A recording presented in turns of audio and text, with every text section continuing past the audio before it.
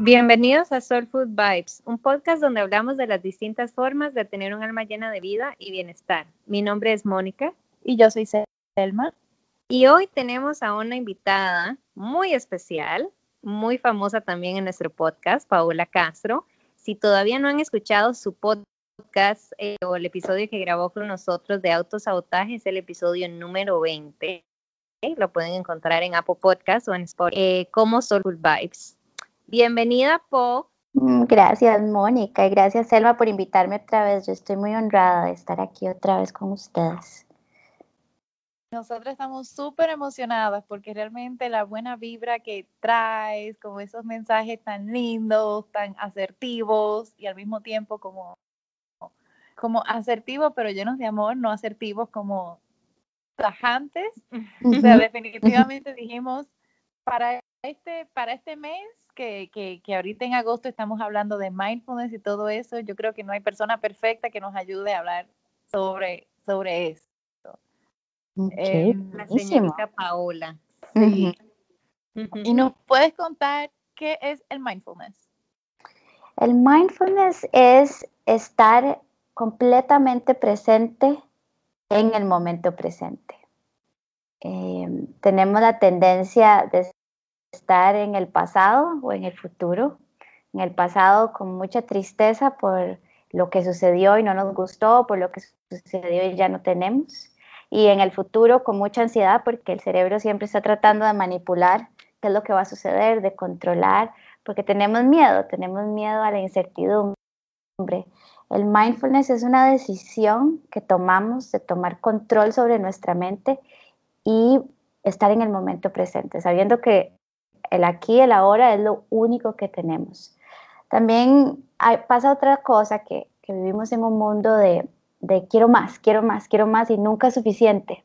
Entonces, hay personas que logran muchas metas, consiguen muchos objetivos, pero nunca hay ese momento de hacer una pausa, agradecer, disfrutar lo que he logrado, sino es que siempre, bueno, ya lo logré, que sigue, que sigue. Y yo siento que hay un, deseo natural del ser humano de estar evolucionando, de estar progresando, pero siento que lo hemos llevado a tanto a un extremo que entonces estamos insatisfechos porque parece como que nunca llegamos y nunca es suficiente y siempre estamos con esa insatisfacción. Entonces me parece que es muy importante eh, eh, hablar del mindfulness porque es eh, prestar completa atención al momento presente, a, lo que estoy viviendo en el ya, en el ahora. y bueno, a mí lo que me pasa con eso es que yo soy súper fan y me imagino, Selma, que esto es súper pita de las, de las to-do list. Porque yo soy súper bata y a mí se me va por el cielo todo lo que yo tengo que hacer.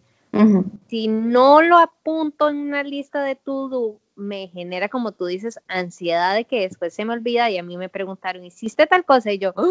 Se me olvidó. Pero cuando también la tengo, la lista, después es como, tengo que hacer eso, tengo que hacer eso, no se me puede olvidar. Y es como un círculo vicioso. Bueno, eh, yo creo que el to-do list, esa, esa, lista de hacer es, es, muy importante para precisamente vos que sabes que se te pueden olvidar, yo también lo hago, pero es al final el superpoder de todos los seres humanos es la elección. Tenemos elección en todo momento. ¿Qué, quiero elegir? ¿Quiero elegir eh, esta acción y enfocarme en esta acción o estoy eligiendo esta acción y al mismo tiempo estar pensando en todas las demás que tengo que hacer?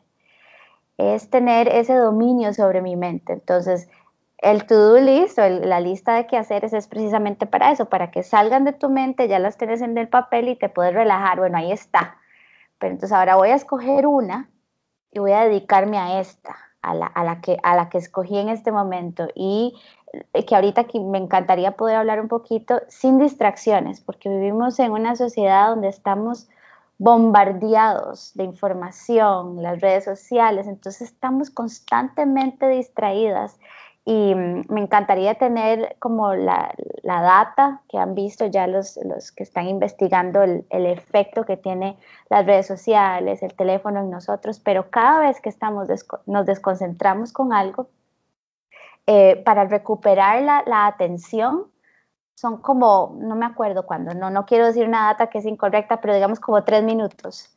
Entonces, son aproximadamente cinco, cinco minutos. Entre cinco y quince minutos volver a retomar la atención dependiendo de cómo es tu nivel de, como de, de, concentrarte.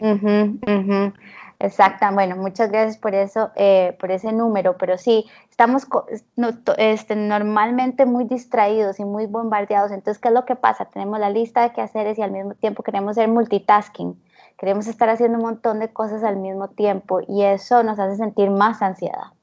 Entonces, yo creo pero, que para lo que nos estás diciendo, Mónica, es este, tomar la decisión de, ok, lo escribí, se queda aquí y ahora voy a escoger mi prioridad y voy a hacer esa, mm, ese enfoque profundo en mi tarea. Y me prometo, mientras hago esto, solo hago esto.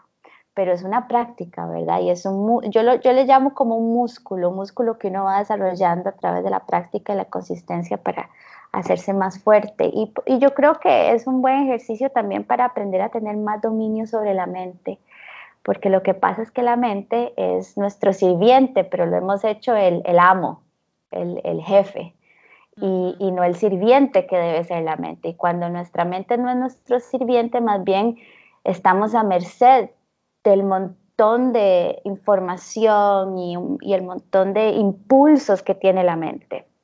Y ahí es donde nos viene la ansiedad y vienen ese montón de cosas que, sentimos y sentimos que la vida es muy dura y que es demasiado rápido, cómo va todo esto y etcétera, etcétera.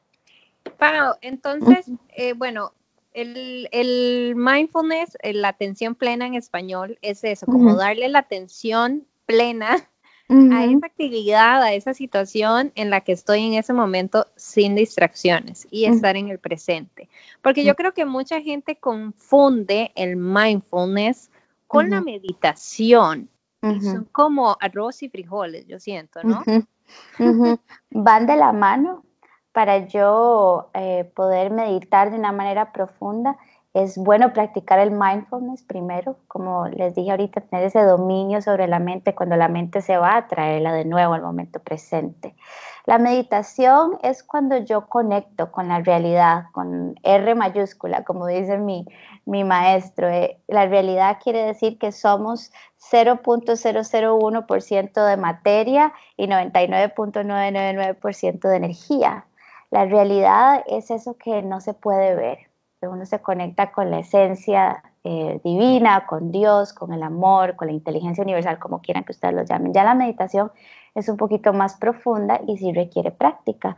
Em, pero como hoy estamos hablando del mindfulness, es bueno no confundir. Hay gente que dice, sí, es que yo medité yendo al bosque a caminar. No, lo que hiciste fue mindfulness, estabas presente caminando, no estabas meditando. Entonces, bueno, hacer como la diferencia porque eh, también siento que es importante darle la prioridad a la meditación y cuando hablen de la meditación con mucho gusto puedo eh, venir a otro episodio, pero, pero sí, el mindfulness es un buen espacio para comenzar, para comenzar y más que todo por la realidad que estamos viviendo en, el planeta, en el mundo. Estamos viviendo en tiempos donde la tecnología va demasiado rápido y estamos eh, muy llenos de cosas, ya no hay tiempo para nada. Eh, imaginémonos en la época de Aristóteles o de, los, o de los filósofos donde ellos no tenían ni siquiera reloj y tenían más tiempo para filosofar, tenían más tiempo para ir hacia adentro. Ahora ya no hay tiempo para nada. Estamos esperando en el bus o estamos esperando, no sé, en un banco y la gente no puede estar sin su teléfono. Necesito estar constantemente distraído, necesito estar constantemente entretenido porque ya no podemos estar en el ya en el ahora con nosotros mismos. Y ahí es donde siento que muchas de las enfermedades emocionales vienen, porque estamos constantemente estimulados. Y el mindfulness es, es una práctica que si es uno de los hábitos que hacen este año las personas que están escuchando, yo creo que puede ser el hábito que puede cambiar la vida de ustedes, ¿verdad? Eh, las relaciones también, porque ahora vemos mesas completas de amigos o de familias y todo el mundo en el teléfono, nadie está presente en la conversación, presente em, en, la, interacción, en la conexión. y, yo siento que también es triste porque ya no estamos conectando de una manera real. Claro, y cómo, o sea, eso definitivamente yo lo he visto y lo siento. Em, y a veces me pasa que yo me siento un poco como la extraña, porque cuando yo llego a mi casa, yo siempre tengo mi celular en silencio y se me olvida dentro de la cartera. Me entretengo con otras cosas, eh, pero la gente se sorprende cuando yo le digo, aquí hablando íntimamente, que llevo mi celular al baño. O sea, yo no puedo. yo, siento que no puedo, pero eso a mí quizás me sale un poco, un tanto innato, pero yo siempre de pequeña, pero ¿cómo la gente puede practicar ese mindfulness? ¿Cuáles son algunos tips para esa gente que tiene de repente todo el tiempo el monkey mind? Bueno, lo primero es estar consciente de que les está pasando, ¿verdad? Y, querer hacerlo, tener la disponibilidad y que, se, revisen las áreas de su vida que, en este momento están em, sufriendo. Tal vez están sufriendo en las relaciones o tal vez están sufriendo de insomnio, de ansiedad. Eh, hay, que, hay que hacer como una, una revisión total de mi vida y, ver el valor que tiene el volver al momento presente. También muchas personas, hablando de la conciencia, de darse cuenta, eh, y no sé si les pasa, chicas, que, que, vienen a consulta o no sé, les dicen a ustedes que eso del amor propio es raro, yo no lo entiendo. ¿Cómo uno se puede querer a uno mismo? O lo dicen, simplemente es que yo no me quiero, tengo un crítico en mi mente, tengo una, una persona tan criticona de mí, ¿verdad? Mi mente muy dura y no sé cómo amarme. Y yo siento que si no sabemos cómo amarnos y queremos aprender a amarnos, el mindfulness nos puede ayudar muchísimo. ¿Por qué? Porque también aprendemos a estar presentes con lo que sentimos al 100%, que también esa es otra desconexión que ha pasado mucho, que ya me siento mal o siento algo incómodo y voy al teléfono y le escribo a todas mis amigas todo lo que me está pasando, lo cual no está mal, está bien, es tener comunidad, pero pero me conecto, me conecto con todo lo demás menos conmigo misma. Voy y digo, ay, no, necesito ir a tomarme un trago porque estoy muy estresada o, o se lo he hecho todo a la pareja. Entonces, constantemente estamos buscando hacia afuera quién me puede solucionar esto o cómo puedo dejar de sentir eso. El mindfulness es una de las maneras que yo he descubierto que me ha ayudado a aprender a amarme a mí misma incondicionalmente hasta los momentos cuando estoy lidiando con mis, con mis sombras, con, con aquello que siento que eh, no es amable, no es, eh, sí, amable de, lovable, amable de, querible.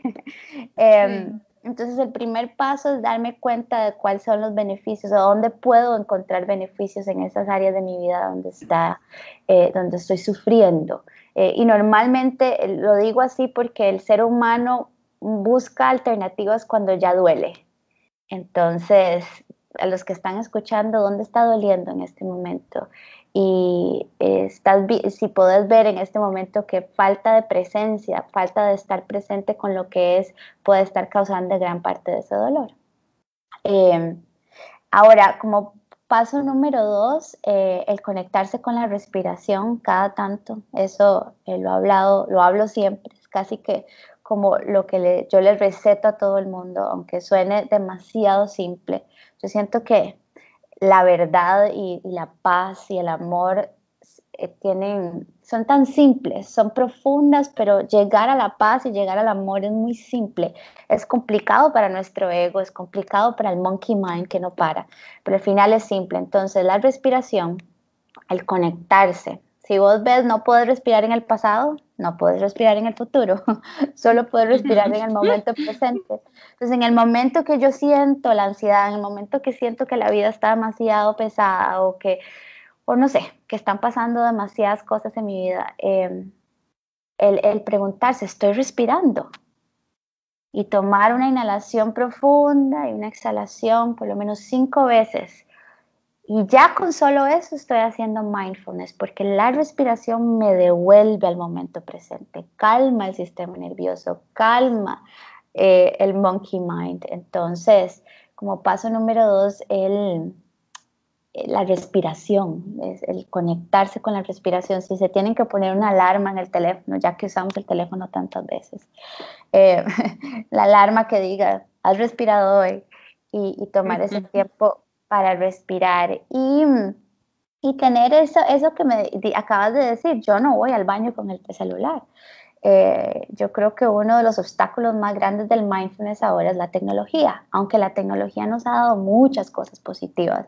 De hecho, nosotras usamos la tecnología para, para dar este mensaje lindísimo. tiene muchas cosas positivas, pero también tiene su, su parte opuesta, ¿verdad? Entonces, es aprender a soltar el teléfono, aprender a soltar la computadora, es practicar ese desapego. Voy a ir al baño, voy a ir sin mi teléfono. Hay gente que no puede ir al baño sin el teléfono ya. Sí, yo conozco que duran un montón en el baño y uno dice, mm. ¿qué están haciendo?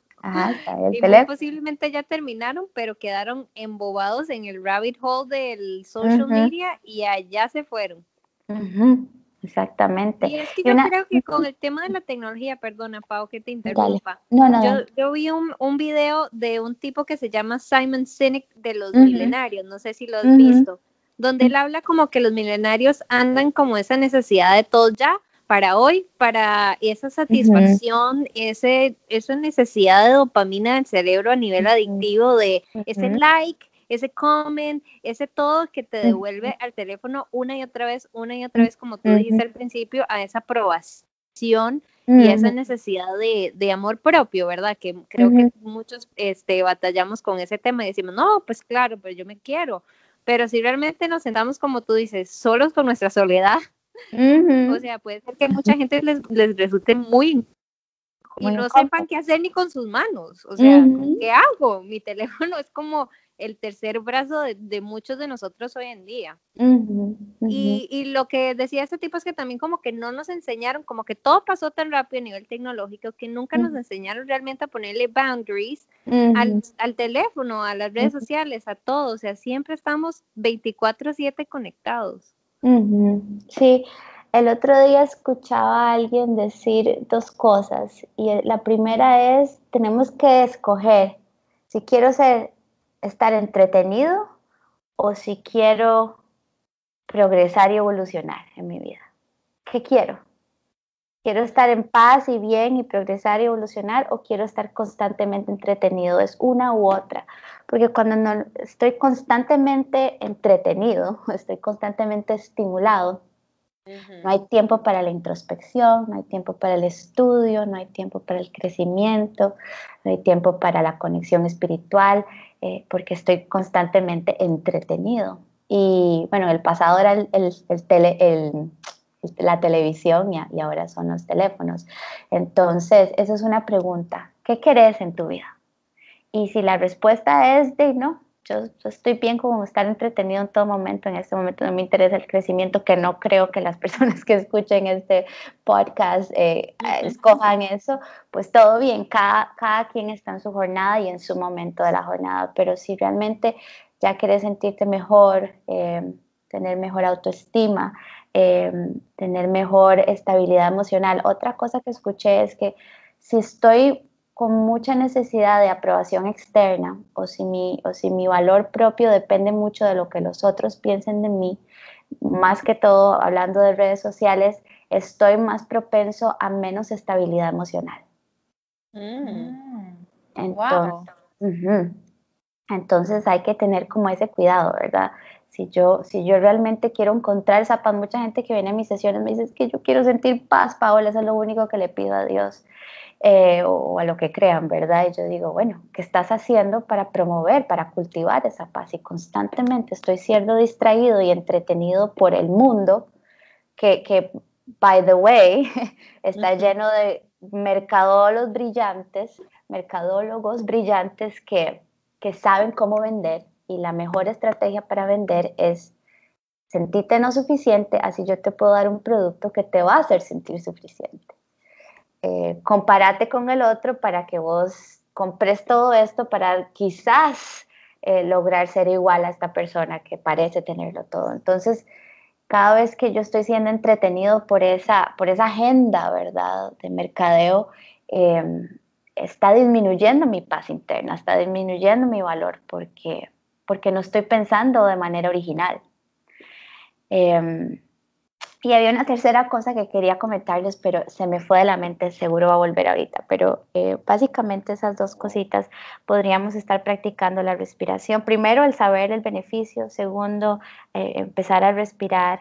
Y, y, tercero, empezar a despegarme un poquito del teléfono. O sea, tener como esos momentos de decir, no, lo voy a dejar. Ah, bueno, otra cosa, chicas, no sé si, si lo saben, pero si en una conversación, si nosotros estamos sentadas en una mesa, aunque los teléfonos estén con la pantalla viendo para abajo.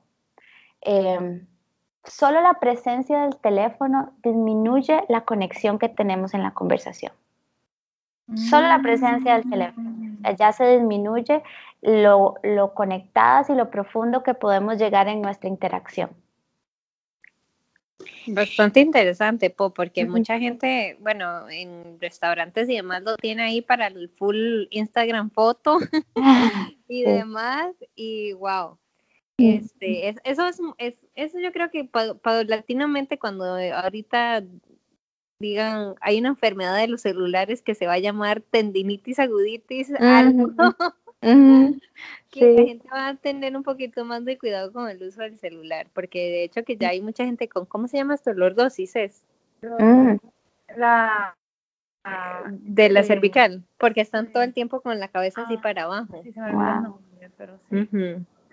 Pero ¿Qué te iba a decir? Pues yo lo que hago, digamos, yo lo que como yo empecé más o menos era como que tareas tan aburridas como lo es y para mucha gente es hasta tedioso y doloroso lavar platos. Estar completamente en el estoy lavando platos, déjeme sacarle la grasita aquí a esta esquina. O sea, son como cosas que usted puede hacer en su día a día, no necesariamente, o sea, como tú dijiste, hay que sentarse, obviamente, de empezar por la respiración y demás, pero después tomar esas cosas o esas tareas que son súper tediosas y en vez de estar deseando en el futuro, quiero terminar ya, y sacarle la grasita al plato. Claro, y yo quería hacer un cuento. Eh, bueno, yo trabajo en una empresa que hacemos eventos, o sea que siempre tenemos muchas cosas muy variadas que tenemos que hacer. Y hace poco tuvimos que envolver como 100 regalos, y, pero era en paulatinamente. Y esa se convirtió en mi terapia.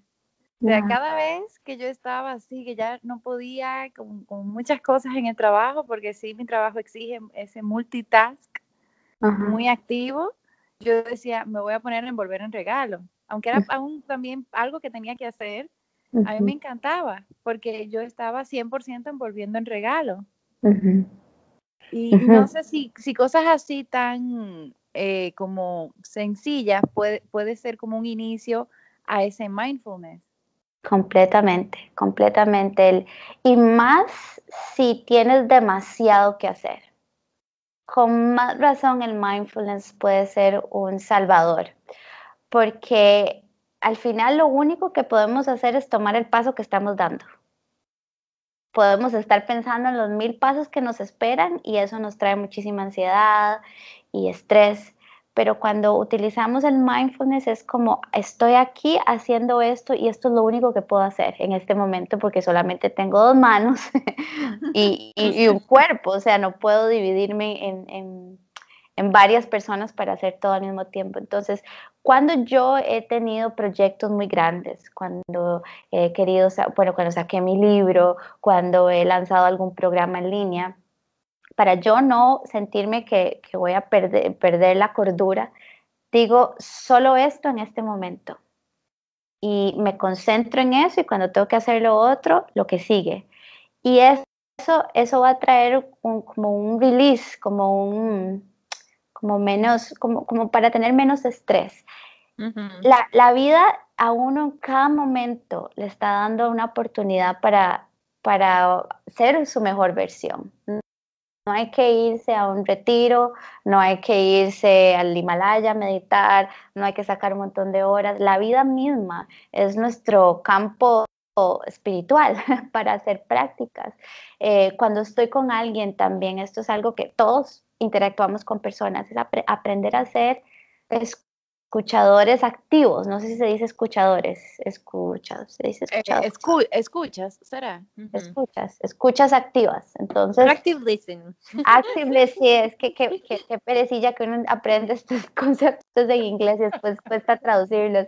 Pero bueno, ser escuchas activas, cuando estés con alguien, poner el teléfono fuera de la vista y realmente escuchar. Eso es una forma de ser mindful. Estamos aquí, estamos conversando también porque al final no sabemos qué va a pasar mañana, ¿verdad? Tener esa conciencia de la mortalidad muy importante. O sea, hoy estamos y mañana no sabemos.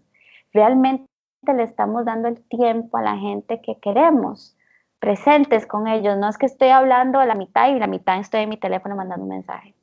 Este, entonces sí, como dijo Mo, eh, cuando estoy lavando los platos, como dijiste vos, cuando estoy envolviendo un regalo, cuando estoy hablando con alguien, cuando estoy caminando del parqueo a mi oficina, eso es un momento donde no tenés que estar en el teléfono, podés caminar y ver los árboles, respirar profundamente, escuchar el pájaro que pasó, observar a la persona. También he visto, el, otro día me fui como tres semanas para Europa y, y bueno, yo, yo vivo en un lugar muy rural en Costa Rica, donde hay mucha naturaleza, pero estuve tres semanas en ciudades y, y cómo el corre-corre hace que uno pierda la conexión con, con los otros seres humanos, el verse a los ojos, el saludarse. Eh, bueno, eso ha pasado por muchos años y no ha tenido que ser la tecnología. Yo creo que desde la revolución industrial ya, ya venimos en ese corre-corre. Y, y, es como ir caminando y si alguien pasó, verlo a los ojos y decirle buenos días. O darle una, una media sonrisa, solo con eso no tenemos que sonreír completamente. Es como tener esa, esa conciencia de que estoy aquí, acaba de pasar a la par de un, otro ser humano, ¿verdad? Y eso es, todo lo que el mindfulness nos puede, nos puede dar, el devolvernos un poquito más de, de presencia y, a veces uno creo que se puede dar cuenta de más sincronías que están pasando en todo momento. Todas aquellas personas que les gusta hablar de la ley de la atracción o de la manifestación, la vida siempre nos está dando pequeños milagros, pero como estamos tan desconectados del momento presente no nos damos cuenta. Nos pasan por enfrente y ni los vimos. Eh, si alguna, algún oyente quiere manifestar una pareja, no sé, un novio, una novia, novia o quiere manifestar eh, una oportunidad de trabajo mejor. La gente dice, es que no, no puedo, la vida está difícil, los hombres todos son iguales, las mujeres todas son iguales, o no hay trabajo, o no hay dinero. ¿Qué tal si la vida ya te está dando todo eso, pero estás tan desconectado del momento presente que todas las oportunidades se te están pasando por encima, exactamente, que no lo ves? Qué increíble, Pau. Y de verdad que tú tienes, es algo, o sea, yo escuchándote es como, miércoles. Es tan sencillo, pero al final las cosas sencillas son lo más difícil. A nosotros como que nos encanta complicarnos la vida. Mm, la mente, la mente se complica. la mente se complica, sí. Y, y es increíble ahorita, porque yo realmente no, no tenía como mucha relación con el mindfulness en sí, pero es increíble como eso, inclusive ya llevándolo a un mundo de repente pensando en, el trabajo, en, cosas que uno tiene que hacer en el momento, que al final hace que, todo sea mejor. si yo estoy consciente en que yo estoy, por ejemplo, aquí en mi casa haciendo la cama en la mañana, yo estoy como consciente de, todo. En el trabajo la productividad aumenta, porque aunque uno vaya más despacio, uno va con paso firme, por así decirlo, no, no andando como gallina sin cabeza. Eh, es que a veces yo lo siento así, y, inclusive, o sea, e, en, mi trabajo yo tuve que, tomar esas medidas, y bueno, en todos los aspectos de mi vida yo empecé a tomar esas medidas. Ahorita estamos haciendo esto porque eh, según el, yoga, el multitasking no existe, o sea, mentalmente hablando, uno no puede hacer multitask. Uno puede cambiar de atención rápidamente, pero no hay multitask en sí. Exactamente. Exactamente, y lo que pasa con el multitask es que dejas muchas cosas inconclusas o no, lo, o no llevas una tarea a profundidad, tal vez lo dejas muy a la superficie. Y mm, por eso vemos que personas van de 8 de la mañana a 6 de la tarde o hasta 7 de la noche y en todo ese montón de horas a veces no se logró mucho por las distracciones, porque tenemos mentes muy impulsivas, porque entre nosotros nos distraemos. Em, y entonces yo siento que hay tanta eh, poca productividad que, que, si lo hiciéramos mindful, si todos los seres humanos fuéramos mindful, yo creo que necesitaríamos trabajar cuatro días a la semana, cuatro horas por día. Sería suficiente. Pero oh, que todo el mundo aquí escuche esto. sí, pero lo que pasa es que no, vivimos, pues, ¿verdad? Como esa gallina sin cabeza que acabas de decir. De hecho, yo creo que en Dinamarca o Suiza están tratando de hacer semanas laborales más cortas, días más cortos, porque se ha visto que obliga a las personas a ser más eficientes con su tiempo, más productivas, enfocarse en lo prioritario y, y, aumenta la satisfacción, aumenta las conexiones familiares, bueno, tiene un montón de beneficios, pero, pero yo creo que el modelo de eso, de trabajar tantas horas, es, es porque somos expertos en perder tiempo, somos expertos en, en estar distraídos.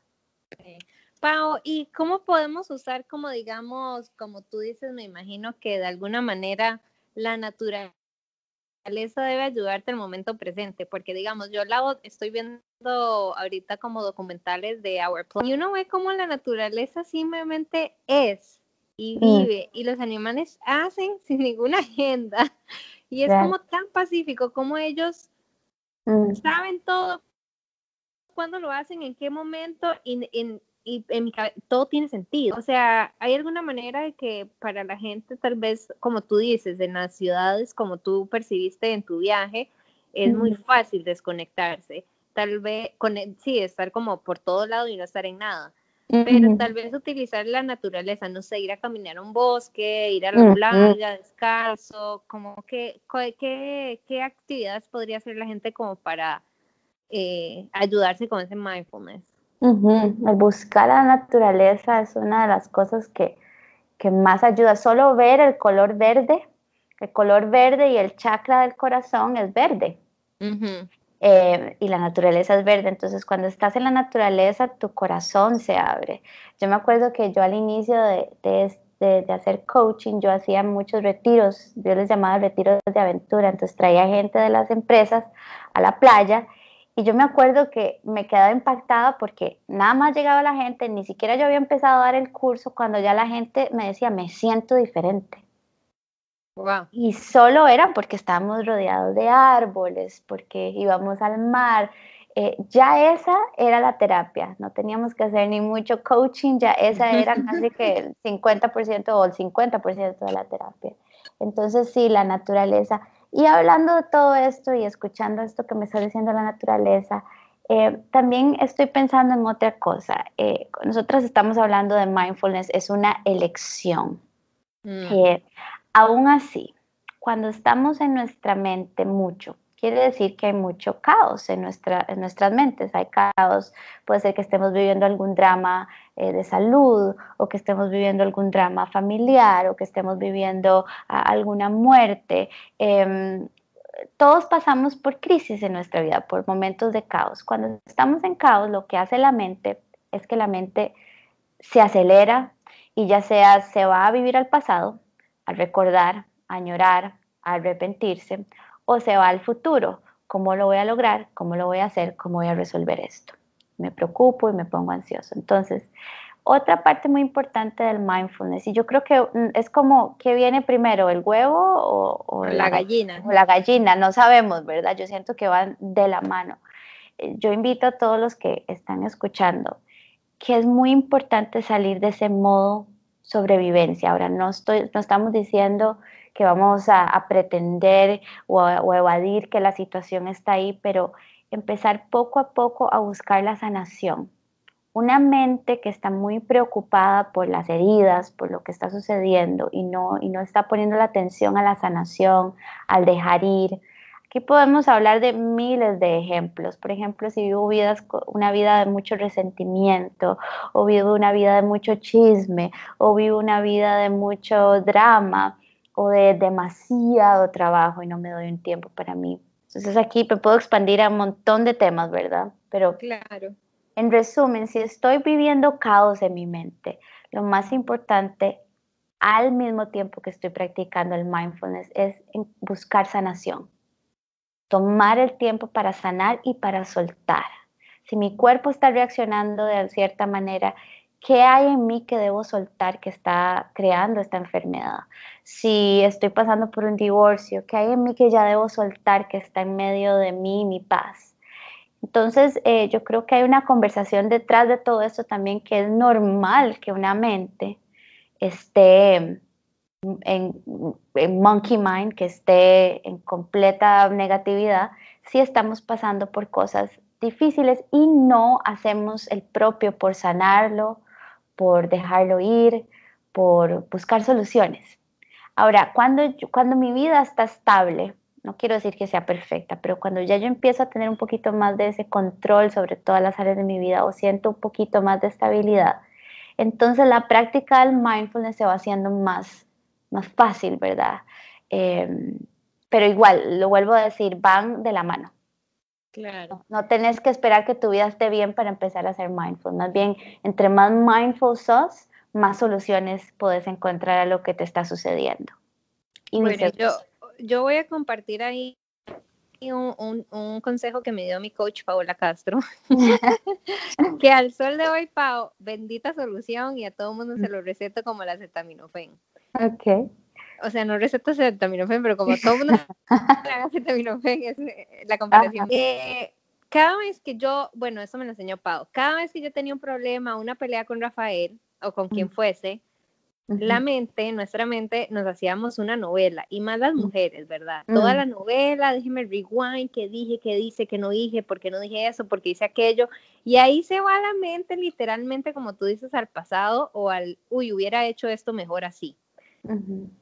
Lo que, lo que yo empecé a hacer en situaciones así, cuando para no seguirme frustrando y sufriendo a puro gusto, porque la verdad es que era puro gusto, era, déjeme ver en esta situación que me está pasando, por ejemplo, con Rafael, ¿qué es lo que yo tengo que aprender? Yo tengo que aprender algo de esto. Déjeme verlo.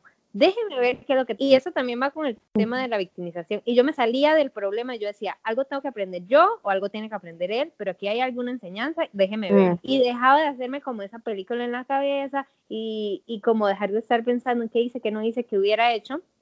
Y veía la enseñanza de la situación y eso me ha hecho demasiada, muchas gracias Pau por el consejo, pero me ha hecho súper bien porque me ha hecho como seguir adelante de situaciones y no quedarme estancada en esas situaciones dolorosas que mucha gente a veces pasa o si, con situaciones complicadas y al final nos encanta aferrarnos a ellas porque me imagino que la mente quiere y el ego de alguna manera sanarse o salvarse o sobrevivir. Sí, no, esa es una de las prácticas yo creo que más poderosas del desarrollo y la sanación, que es tomar 100% responsabilidad de mí, de mi vida, de mis experiencias, de lo que siento, aunque es muy tentador echarle la culpa al otro. Entonces, eso que acabas de hablar es pasar de víctima a creador. Cuando yo soy víctima estoy en modo sobrevivencia y ahí estoy completamente desempoderado. Por eso es que vemos personas muy frustradas, muy enojadas siempre, con mucha amargura, porque se quedan dando vueltas en la víctima, en, la conciencia víctima. Cuando ya yo empiezo a tomar responsabilidad, como dijiste, que puedo aprender de esto, entonces recupero mi control. Cuando yo tengo más control, más poder, más empoderamiento, entonces empiezo hacer mis cambios internos y me salgo de ese modo sobrevivencia. Entonces ahí ya yo puedo escoger, mira, hoy voy a, voy a ser más mindful, voy a estar más presente con mis emociones, voy a estar más presente eh, con, con, la vida. Y en ese espacio empiezas a encontrar soluciones, empiezas a crecer, a sanar, no, mira, si yo estaba proyectando todo esto con mi pareja y mira si la próxima vez lo podemos hacer diferente o no sé, bueno, empiezas a abrirse una perspectiva de soluciones y de milagros también que suceden cuando me salgo de modo víctima. Claro. No, y, de veras que eso es como la, bueno, por lo menos a mí me ha funcionado como la fórmula mágica porque inclusive en el tema del resentimiento, como que, digamos, él me hizo algo o dijo algo y a mí me cabrió. Y yo digo, ok, déjeme ponerme los zapatos de él, ponerme, o sea, salirme yo de, mi ego, de e, es algo contra mí, algo tenemos que aprender los dos de esto, hablamos, platicamos, yo interiorizo lo que tengo que hacer y hay move on como a las horas. Y ya como que ya no es como tanto, déjeme darme lata por la cabeza eh, y estar sufriendo en vez de estar disfrutándolo a él y, solucionar la situación para seguir adelante. Este, así que yo no sé por qué, bueno, no sé si este tema tiene algo que ver con el mindfulness, pero a mí me ha ayudado mucho como parar en ese momento, de la pelea, lo que sea, y decir son toque, ¿qué es lo que yo tengo que aprender? ¿Qué es lo que está pasando aquí? No es conmigo la cosa, vamos a ver cómo hacemos. No es, no es que no sea conmigo la cosa, pero como que no, no me hago como tú dices la víctima y trato como buscar la solución y de esa manera como que ya no me acuesto feliz con él, ya nos abrazamos, nos dimos besos, eh, buscamos una solución, sigamos, pero antes sí era, y yo sé que muchas personas es así, me aferraba a lo que, uy, este desgraciado lo que me hizo, este, y le daba a ver, ¿y por qué? ¿Qué habrá pasado? Así, entonces... Todas las mujeres hacemos eso. Claro, claro, porque somos muy poderosas mentalmente, emocionalmente, tenemos un montón de... Sí, de capacidades. se van a su nothing box y nothing les, nothing les pasó. Sí, sí, sí, sí, ese es otro tema, ¿verdad? El poder que tenemos las mujeres y cuando no lo no sabemos canalizarlo, como nos contaste que vos lo haces, nos volvemos destructivas y, y, y, muy peligrosas también. Entonces, no quiere decir que los hombres no, pero, pero hablando de mujeres, este, es muy importante tener esa, esa conciencia que has desarrollado, Mo, y te felicito porque se requiere mucha valentía tomar responsabilidad de mi parte y de mi sanación. Entonces, ¿qué es lo que pasa? Vos tomas esa decisión, eh, tal vez ya para la noche están eh, contentos, ya te dormís en paz, en la mañana siguiente te levantas y tenés la, la fortaleza de decir, ¿sabes qué? Hoy voy a estar más mindful, hoy voy a estar más presente. Pero veamos el otro escenario, ¿no? Me, me, me aferro a que, lo que él me hizo, me enojo y paso un mes resentida, envenenada y, y, pongo el podcast de las chicas y me hablan de mindfulness pero es que ellas no entienden el infierno que yo vivo. entonces, ves cómo es importante también invertirle a la sanación interna para poder tener más facilidad de tomar eh, elecciones de, o, o, adquirir hábitos como el mindfulness que estamos hablando hoy.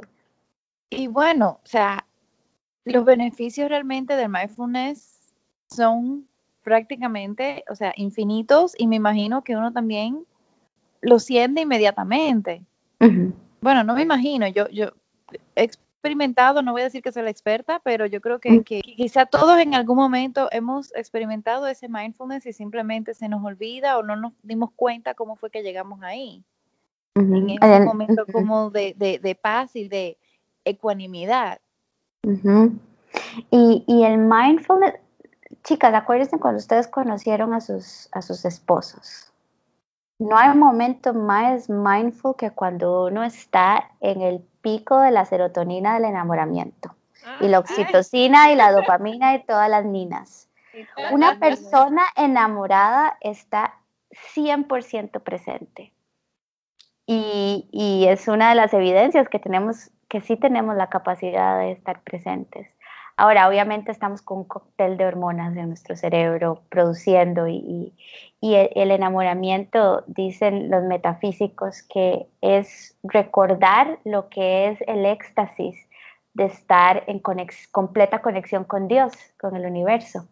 Por eso es que los rompimientos y por eso es que, eh, sí, un rompimiento es lo más doloroso que es porque creemos que una vez que la persona ya no está con nosotros, se fue, se fue mi conexión y, y, se nos rompe el corazón porque nos acordamos por unos meses o por lo que fuera el tiempo que estuvo esa persona con nosotros que, que se, nos, se nos fue esa conexión con la divinidad. En fin, eso es otro tema que podemos hablarlo otro día, pero, pero lo más mindful y lo más fácil para estar mindful es enamorarse locamente de alguien. Y, y, y, lo lindo es llegar a esos estados de enamoramiento sin tener que depender de una persona. Y sí se puede. El que uno vaya caminando y uno siente que el corazón le salta porque sí, porque estoy viva, porque los pajaritos están cantando, porque, porque sí, tal vez mi vida no está perfecta, pero estoy en completo agradecimiento de estar viva. Y solo el respirar ya me hace sentir esa conexión con, con todo, con el todo, con el amor qué lindo escucharte, pues yo podría escucharte todo el día. Tú deberías hacerte un podcast, por favor, para poderte escuchar a toda hora. Qué linda, sí, bueno, eso ¿Algún mensajito final que le quieras dar a los oyentes que están tratando como de buscar esa mindfulness o esa atención este, en su día o en su vida? Em, me gustaría recordarnos a todos que como seres humanos se nos fue dado un, poder. Este es el poder de la elección. Eh, lo he hablado a través de la llamada, pero me gustaría como volverlo a decir. Eh, a veces nos sentimos tan desempoderados o tan tristes o, o sin esperanza porque creemos que lo que me pasa, las circunstancias tienen más fuerza que mi existencia, que, que hay algo fuera de mí que, que me daña, que me golpea. Y cuando yo elijo que esa no es la verdad, que eso es una mentira, que yo puedo escoger ser feliz, que yo puedo escoger estar presente, que yo puedo eh, escoger mi respuesta, tanto poder regresa a nosotros, la esperanza vuelve a nosotros. Entonces los invito a practicar la elección, elegir. ¿Y cómo se hace? Tomando control de nuestra mente y decir, ok, esto es lo que he estado acostumbrado, pero como hablaron las chicas hoy, mañana voy a practicar, elegir, no estar tanto en mi teléfono y sentarme a, estar conmigo.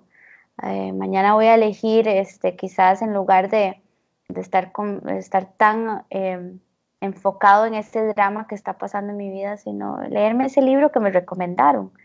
Mañana voy a elegir, em, no sé, eh, sonreír más en lugar de quejarme tanto al final todo es una lección, todos estos hábitos que las chicas hablan en este podcast, todos estos hábitos lindos que pueden llevar a, una vida extraordinaria, empiezan con una lección y nadie puede escoger por uno.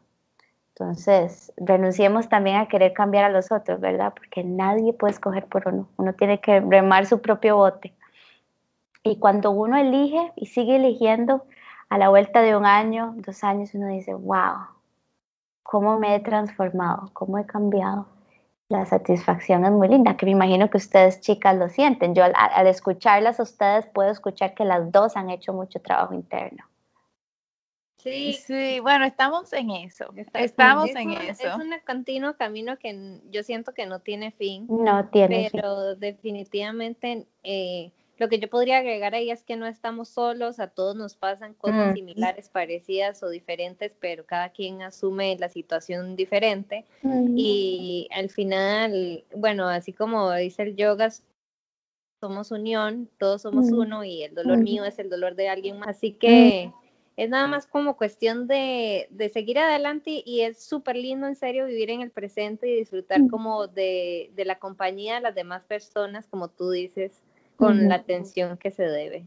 Eh, y sí, y, obviamente teniendo los maestros adecuados, así como Po. Elena, gracias.